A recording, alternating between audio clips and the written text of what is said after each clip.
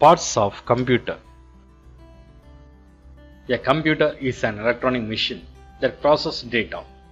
Information given to the computer is called data. Computer works very fast. It saves your time and energy. It can remember a lot of things. Let us see the parts of computer in detail. Monitor. A monitor looks like a TV screen. It shows whatever you type on the keyboard or draw with the mouse. Computer System Unit CSU All the inputs are stored, sorted, arranged and changed by computer by computer system unit, the device that helps a computer. Keyboard The keyboard is used for entering data into the computer system. It can type words, numbers and symbols.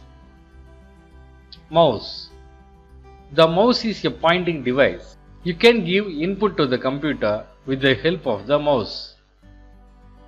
Speakers The speakers are the output devices that produce different types of sounds processed by the computer. You can also listen to songs, speeches stored in the computer. Printer A printer prints the results of your work from the computer screen on a sheet of a paper. This is called a printout. Uninterruptible power supply UPS An uninterruptible power supply UPS is an electrical apparatus that provides emergency power to a load when the input power or main power fails. Parts of system unit CSU The system unit also known as tower or chassis in the main part of your computer desktop. It includes the motherboard, CPU, RAM and other components. The system also includes the case that houses the internal components. Parts of computer system unit Motherboard Motherboard is the main printed circuit board found in general purpose computers and other expandable systems. It holds and allows communication between many of the crucial electronic components of a system such as CPU and memory. Central Processing Unit CPU CPU is the electronic circuitry within a computer that executes instructions that make up a computer program. The CPU performs basic arithmetic, logic, controlling and input-output operations specified by the instructions.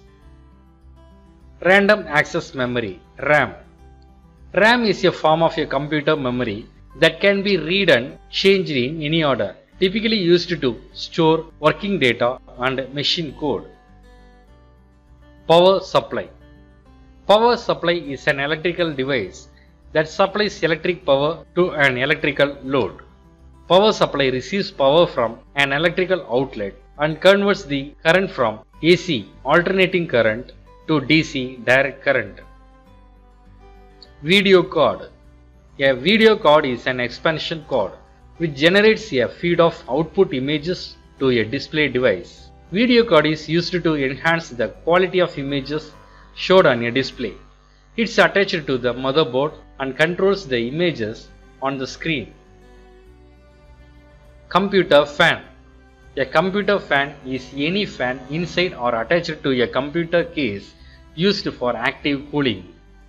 Fans are used to draw cooler air into the case from the outside, expel warm air from inside and move across a heat sink to cool a particular component.